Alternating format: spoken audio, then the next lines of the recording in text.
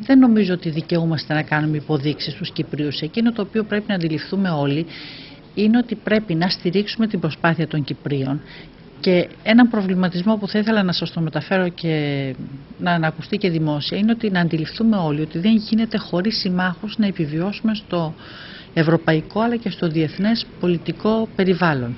Ε, ο Αντώνης ο Σαμαράς, θυμόμαστε όλοι, είχε ξεκινήσει μια πρωτοβουλία με τις χώρες του Νότου. Νομίζω ότι είναι και μια καλή ευκαιρία αυτή να συνεχιστεί και να ολοκληρωθεί γιατί καταλαβαίνετε ότι κοινά τα προβλήματα, κοινές οι επιδιώξεις πρέπει να όμως και κοινοί αγώνες πάντοτε στο ευρωπαϊκό πλαίσιο.